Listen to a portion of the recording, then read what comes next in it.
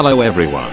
This deck is just a modified version of Nakagawa's Supreme King Magia deck. His version is more compact, but has no Nibiru safe combo. And since this is Master Duel, we can play Verte to use Ultimate Fusion from the deck. So, you can check out his video, if you speak Japanese.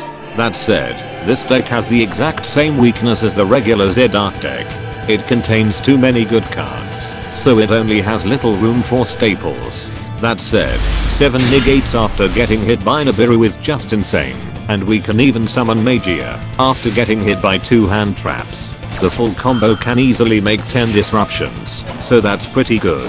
Still, I don't like playing negate boards, so I will still play FTK decks more often.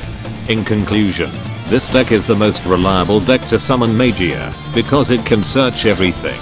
So we don't need to hard draw any of the components. It can set up big boards, but the main engine is too big to play staples, so it's mostly better as a going first deck. Well, it's just a modified version of someone else's deck, so I can probably make something better with ISIL Turbo. Who knows? That's all for today. I'm still working on my two work in progress decks, and until then, see you again soon.